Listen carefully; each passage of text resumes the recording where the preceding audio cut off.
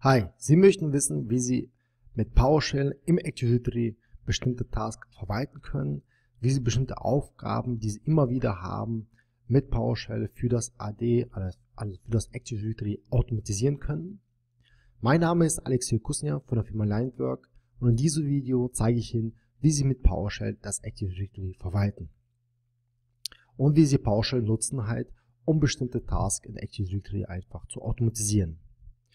Als Beispiel nehme ich mal aus der Praxis, ähm, neue Benutzer kommen ins Unternehmen, also neue Mitarbeiter, die benötigen einen Benutzer im Active Directory, die, äh, die müssen Mitglieder bestimmter Gruppen sein im Active Directory, ähm, bestimmte Zugänge bekommen und so weiter. Ähm, das kann man natürlich sehr schön mit PowerShell automatisieren. Aber auch, Sie bekommen zum Beispiel eine Liste von Benutzern, äh, die in Active Directory angelegt werden soll, zum Beispiel als CSV-Datei oder als Excel dann können Sie diese nutzen, um mit Hilfe von PowerShell das in Active Directory zu importieren. Sie können aber PowerShell wundervoll dafür nutzen, das mache ich gerne auch in der Praxis, für Reporting von Active Directory, also ein Reporting schaffen, zum Beispiel, ähm, welche Art von User gibt es, also wie viele gibt es im Active Directory überhaupt, ähm, OUs, äh, wie viele Mitglieder sind in bestimmten ähm, Gruppen drin, was sind die Gruppenmitglieder, also komplette Übersicht des AD und somit ist Übersicht des, ähm, ja, der Zugriffe im Unternehmen äh, durch das Active Directory. Gut, wie sieht das Ganze dann ähm, in der Praxis aus? Wir haben jetzt hier, also ich habe jetzt hier einfach mal eine ähm, Demo Active Directory Umgebung ähm, geschaffen. Das ist die ledemo.local, die ich selber nutze, um, ja, um einfach nur Demos zu präsentieren, zu zeigen. Ähm, die ist jetzt ganz frisch, da ist nichts Besonderes drauf. Da ist ein, ein Domain-Controller drauf, der heißt die minus DC01. LI steht halt bei mir jetzt hier für Line Network. Ne? Dann ähm, gibt es das Users, das sind die Standardgruppen, die wohl einfach nur die Standardbenutzer auch drin sind. Und da ist jetzt ein Benutzer drin, der ist LI-Admin, hm, der ist auch Domain-Admin der Benutzer. Ja, das ist für mich jetzt angelegt, damit ich halt nicht mit einem Administrator arbeite, mit lokalen, sondern mit dem LI-Admin arbeite. Gut, jetzt habe ich das Ganze, natürlich kann ich diese Task Benutzer anlegen, ähm, kann ich auch über dieses Tool, also über das Active Directory Benutzer Computer Tool natürlich tun. Ich möchte das Ganze aber jetzt zum Beispiel automatisieren oder mit PowerShell quasi vereinfachen und so eine, vielleicht so eine Benutzeranlage erstellen mit PowerShell, ähm, Skripten, dann nutze ich halt ein PowerShell dafür. Es gibt für PowerShell das Active Directory Modul, ja, äh, wenn Sie jetzt äh, selber mit PowerShell noch nicht so viel gemacht haben, an dieser Stelle empfehle ich Ihnen ähm, das, äh, unser PowerShell-Tutorial, das komplett kostenlos ist, ein, auf unserer Website ein Tutorial und auch den kostenlosen PowerShell-Kurs. Da wird einfach das Grundlagenwissen von PowerShell vermittelt. Ähm, wenn Sie das Ganze jetzt über YouTube schauen, können Sie unten einfach nur äh, das Ganze mal äh, als Beschreibung angucken.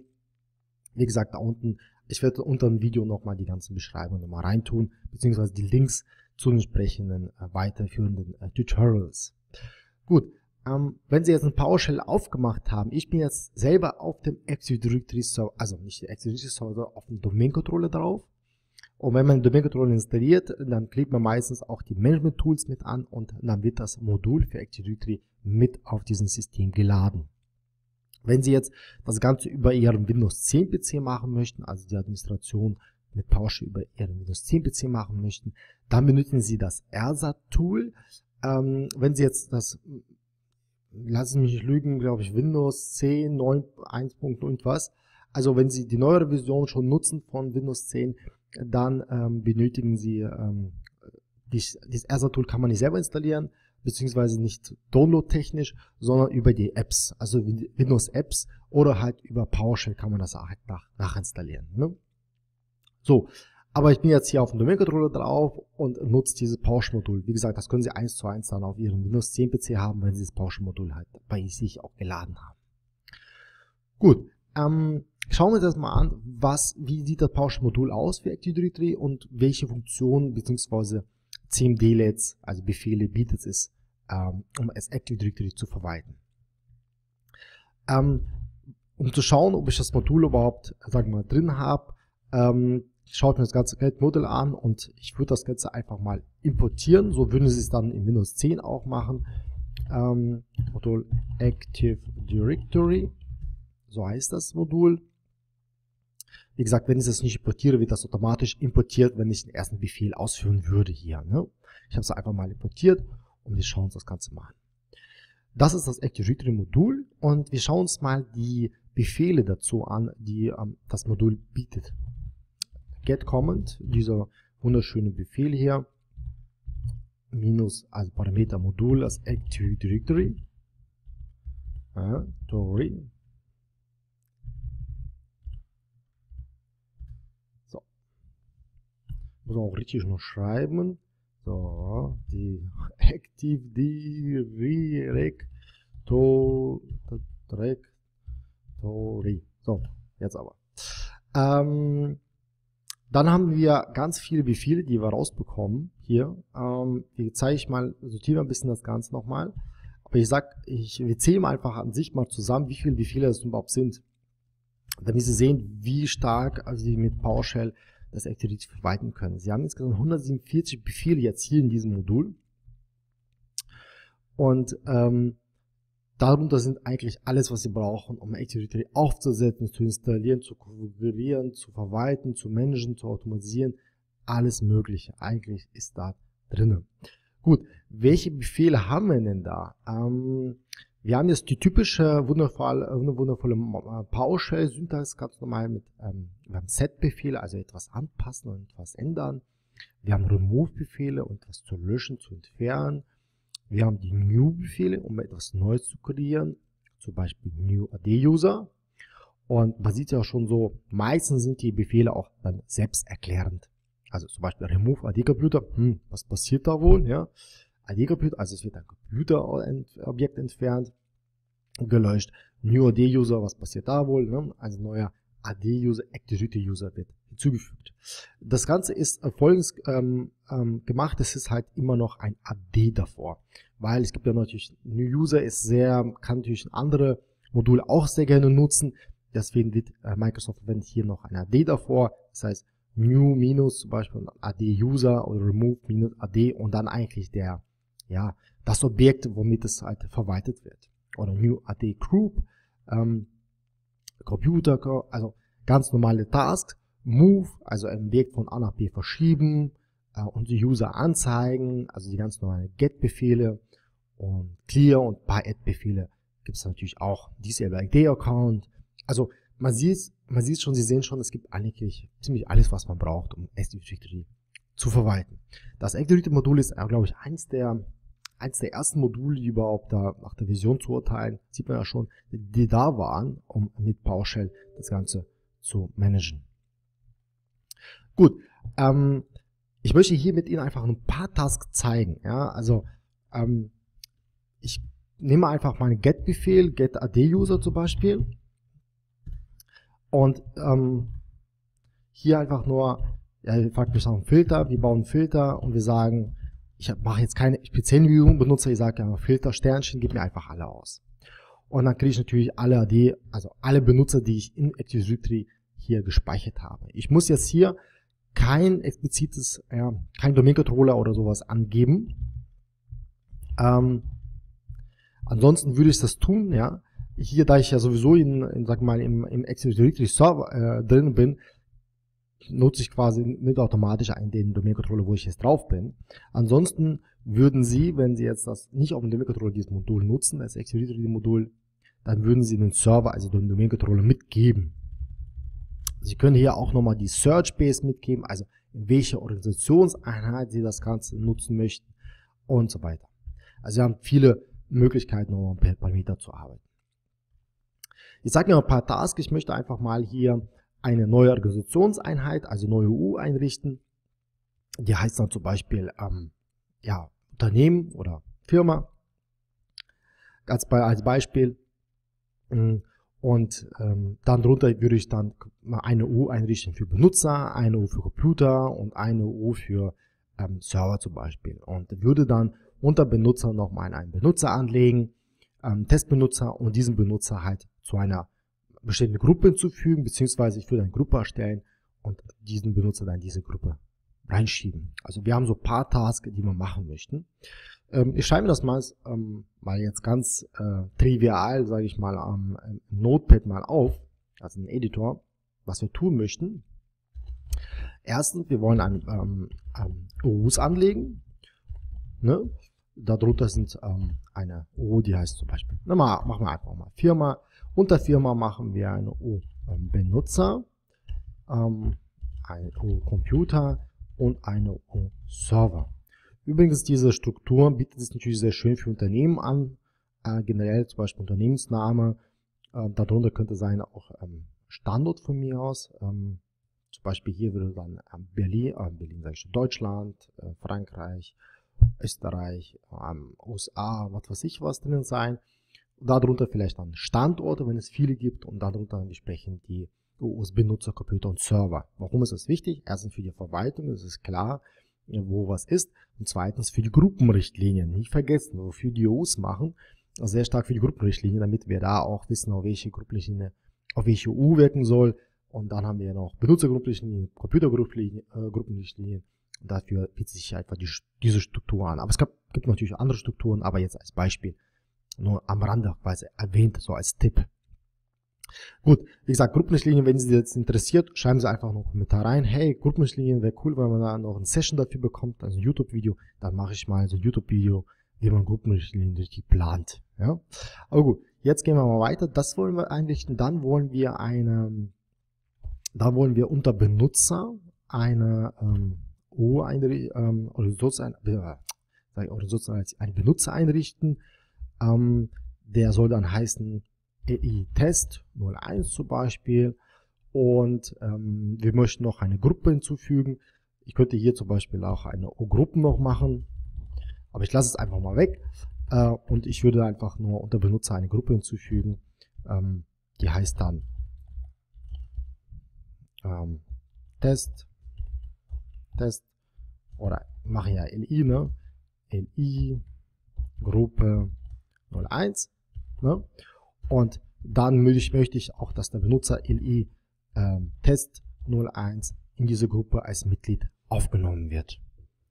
Also, sind schon ein paar Tasks, die machen wir auch mal und dann sehen Sie, wie man mit, das Ganze mit, mit Active arbeitet und dann können wir auch ein bisschen mal searchen und dann haben, wir, haben Sie einfach ein bisschen mal Gefühl dafür, wie das Active Modul funktioniert. Gut, ähm, fangen wir das Ganze mal an. Wir wollen jetzt quasi eine neue EU einrichten, die heißt äh, Firma. Wie geht man dann vor, wenn man jetzt nicht weiß, wie welchen Befehl man hat? Ähm, ich gehe einfach davor, ich gehe hin und sage get command Modul, Activity Directory Modul und klicke erstmal alle, alle Befehle. Jetzt möchte ich mir hingehen und sagen Name und jetzt möchte ich mir einen bestimmten Namen, also ich möchte mir bestimmte Befehle ähm, nur anzeigen lassen, die einen bestimmten, ja, sagen wir, Syntax, also ein bestimmtes Wort beinhalten. Und ich mache mal OU. Ähm, so, da kriegt man jetzt nicht so viel. Oh, das ist gut. Orga, Orga, Organization. So, äh, wie Organization Unit. Das heißt, ich suche jetzt einfach nach Sternchen, Orga Sternchen und kriege jetzt alle Befehle, die irgendwas mit Orga zu tun haben. Und dem Sinne Organization Unit? Und ich kann mir Organization Unit hier ausgeben, ein New Organization Unit erstellen. Die brauche ich jetzt. Okay, weiß ich. Okay. Selbst erklären, ich brauche diesen Befehl. Remove Organization Unit brauchen wir jetzt nicht. Und Set Organization Unit brauchen wir auch nicht. Wir wollen nicht etwas anpassen. Wir wollen eine neue U erstellen. Gut, dann äh, nutzen wir mal diesen Befehl. Aha. New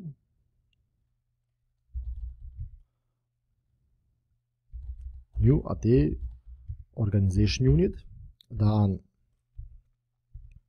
äh, suchen wir uns aus ähm, Display Name, Managed by Name, also Name, braucht zack, Parameter Name.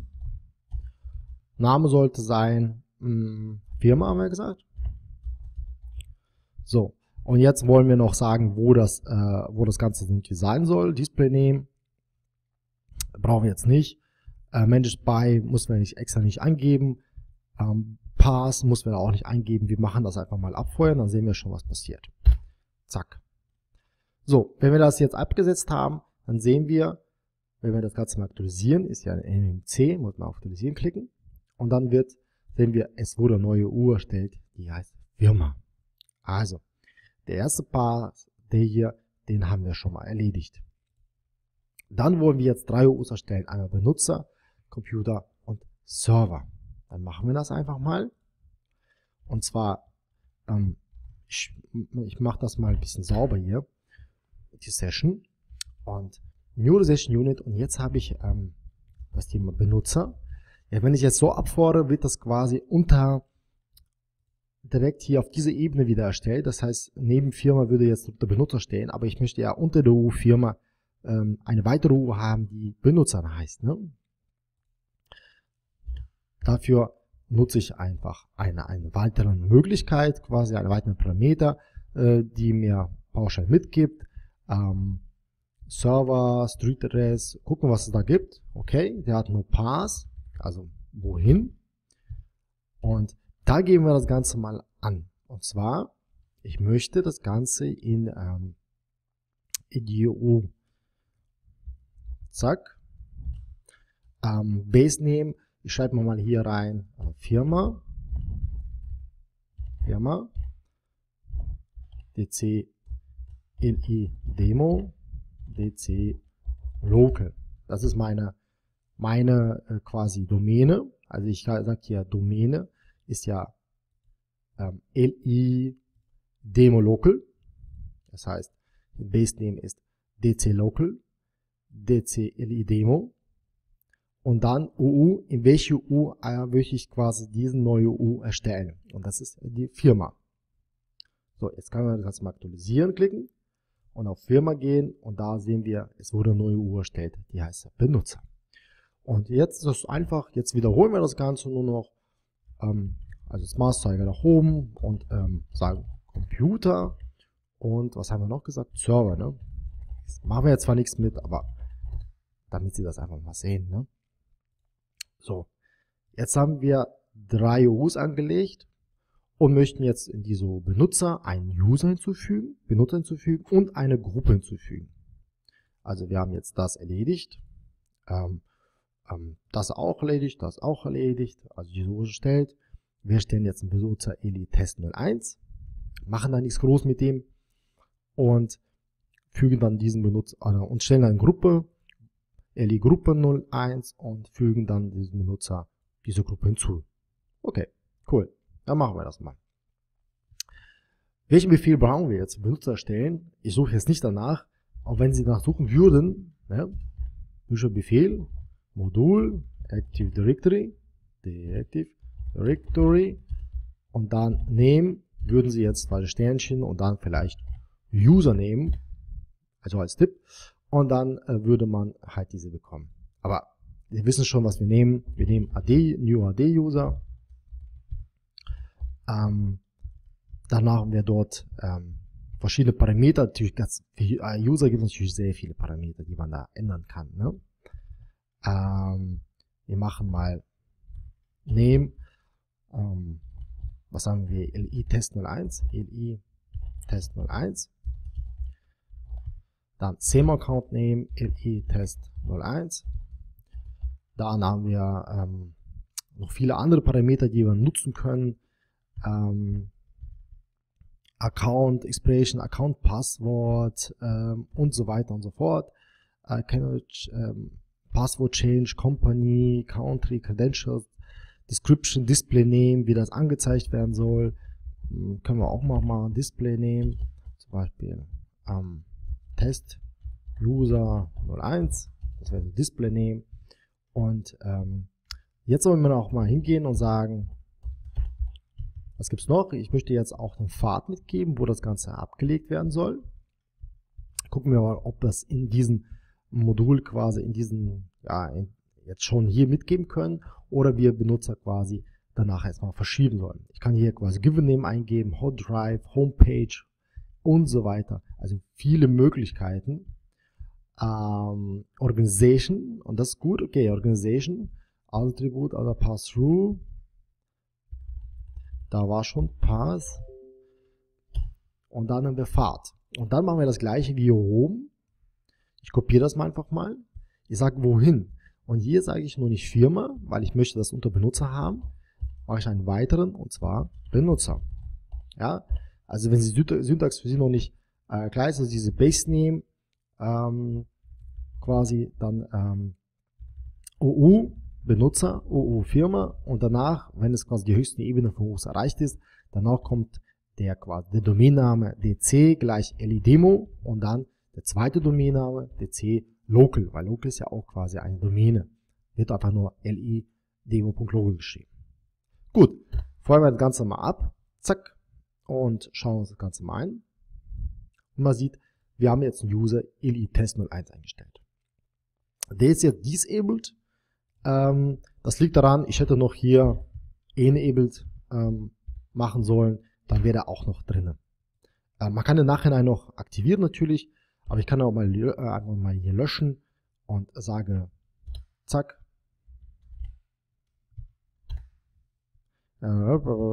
geben Sie Breite, Typ, ach, enabled, ja klar, und dann muss ich sagen natürlich true, also ja, bitte aktiviere den Mini-User. So, jetzt, wenn ich das hier so mache, ja, deswegen habe ich das mal weggelassen, und zwar ist das so, dass ich hier natürlich in ein, ein Passwort noch mitgeben muss, ja. Äh, wenn ich User aktiviere, muss ich dann ein bestehendes, also ein Passwort mitgeben, das könnte ich tun. Dafür baue, muss ich mir erstmal eine Secure String und so weiter bauen. Da kann ich den User auch noch mit aufnehmen. Dafür gibt's ähm, einen wunderschönen Befehl auch von ähm, in PowerShell, um mir einen Secure String zu, zu bauen. Also wie gesagt, wenn ich es jetzt enablen will, brauche ich natürlich ein Passwort, sonst kann er nicht aktiv sein. Wenn ich aber User erstelle ohne Passwort, einfach nur User kreiere erstmal, dann kann ich das auch tun, ohne äh, quasi ein Passwort mitzugeben. Der User darf aber nicht enabled sein. Wir können aber gerne mal so ein, so ein Passwort, Security-Passwort mal erstellen. Ähm, ich sage einfach mal, was passiert, wenn ich jetzt sage hier, ähm, so, Pass, äh, ähm, Passwort, hoppala, so, und zwar gebe ich hier ein, äh, mein Passwort mit, Account-Passwort, so, da war das schon, Account-Passwort, und hier möchte ich es mit mitgeben, und ich sage ihm, hm, nimm einfach mal Passwort. 1, 2, 3, Ausrufezeichen. Ist ja komplex genug, ne, sag ich mal.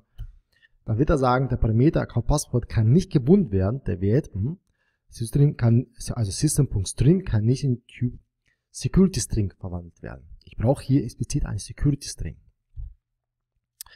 Ähm, und den bauen wir jetzt einfach mal jetzt. Ich ähm, lösche das Ganze mal. Also hier brauchen wir jetzt quasi ein Security String. Und ähm, das machen wir folgendermaßen. Wir bauen uns ein Passwort zusammen. Passwort gleich. Ähm, was haben wir für Passwort? Wir haben gesagt, Passwort 123 Ausrufezeichen. Und jetzt können wir das Ganze so schön pipen und wir pipen das nach Security String. Und zwar, ähm, wir sagen convert to convert secure string und sagen as plain text, also so wie angegeben und sagen auf jeden Fall macht das so. Zack. Und wenn wir das Ganze jetzt mal anzeigen lassen, ist Passwort unsere Variable jetzt ein secure string. Das heißt, wir haben mir den mitgegeben und haben gesagt, das hier, diesen Wert möchte ich bitte als secure string konvertiert haben und ich habe das hier eingegeben als plain text und auf jeden Fall machen false, also ich äh, also äh, erzwinge das quasi.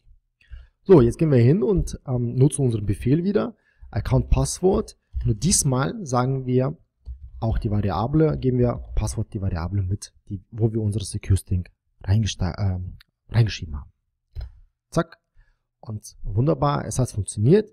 Und wenn wir das Ganze jetzt mal hier anschauen, dann haben wir einen Benutzer, elitest 01 und der Benutzer ist auch aktiviert. Wir können uns mal die Eigenschaften einzeigen, die wir mitgegeben haben.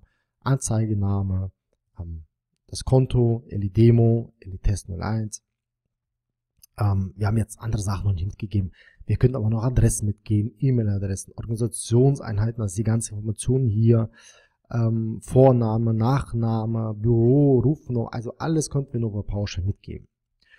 Mitglied von, der ist neues Domain-Benutzer, standardmäßig. Und jetzt möchten wir den Benutzer noch in die Gruppe ähm, in die Gruppe erstellen, äh, bzw. zufügen. Aber bevor wir das tun, brauchen wir natürlich noch eine Gruppe. LI-Gruppe 01.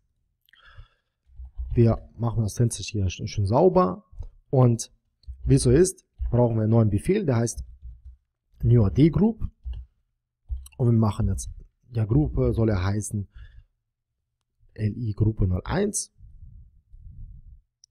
und wo soll die sein? Die soll unter ähm, UU, was haben wir gesagt, Benutzer, dann ähm, UU Firma, immer mit Komma, dc ehrlich Demo, dc Local und ja, Group Scope, ja, welche Art das ähm, sein soll, oder Group Scope, Domain Local. Also Domain Local Gruppe, globale und versale, wir sagen, das ist eine Domain Gruppe einfach. Zack. Dann sieht man so schön, wenn man hier reingeht, es wurde eine Gruppe eingelegt und es ist eine Sicherheitsgruppe und eine lokale Domain-Gruppe. Ja, keine universale, keine globale, eine lokale Domain-Gruppe. So, in dieser Gruppe ist natürlich noch keine Mitglieder und wir können jetzt quasi dieser Gruppe einen neuen Mitglied hinzufügen. Da gehen wir hin und sagen, also wir gucken uns erstmal an, was gibt es denn da für Gruppen überhaupt? Ähm, Modul, Active Directory und Name, sagen wir mal jetzt ähm, Group und gucken uns dann an, was, was gibt es denn da? Und da gibt es, also direkt kommt natürlich der erste Befehl, get AD Group Member, sondern wir brauchen get oder add, add AD Group Member, also füge ein Member einer Gruppe hinzu. Dann machen wir das einfach mal. Add AD Group Member. Dann ähm, brauchen wir quasi Identity. Ähm, also Identity, welche Gruppe meinen wir denn? Wir meinen die Gruppe, ähm, wie heißt die? LI Gruppe 01. So. Und Members ist bei uns LI Test 01 ist unser Member. Dann machen wir das mal. Zack. Gucken das Ganze mal an. In unsere Konsole. Und als Mitglieder, zack, haben wir den E-Test 01 als Mitglied drinne und in den Test 01 reingehen, Mitglied von, dann sagt er auch, ich bin Mitglied dieser Gruppe. Also haben Sie gesehen, dass es ziemlich einfach ist, relativ einfach und schnell geht das, um eine bestimmte Gruppe ähm, eine hoch einzulegen, also Positionsstruktur anzulegen, Benutzer im AD anzulegen, diese Benutzer quasi ja, Passwort mitzugeben, Namen zu geben, also Eigenschaften mitzugeben und diesem Benutzer eine bestehende Gruppe hinzuzufügen oder vielen bestehenden Gruppen.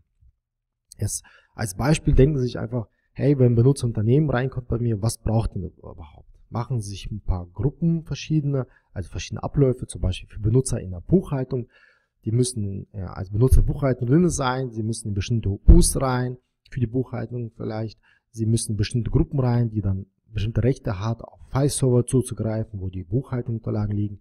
Oder ein User aus der IT, was welcher Recht braucht er da? Oder ein Benutzer aus dem Lager, der da arbeitet, was braucht denn dafür Rechte?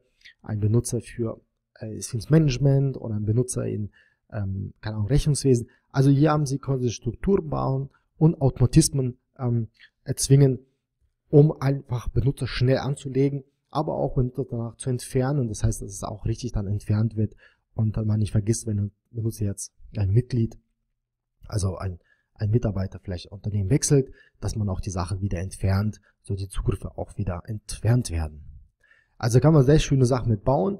Das Bauschenmodul, wie gesagt, ist wunderbar. Da gibt es viele, also alles, was Sie so wünschen, ist eigentlich in diesem Modul als Befehl hinterlegt. Probieren Sie es einfach aus, nutzen Sie mal eine Testumgebung dafür, ja, und nicht direkt in der Produktivumgebung da irgendwas machen, ist halt Ihr Herzstück, ist eher Active Directory.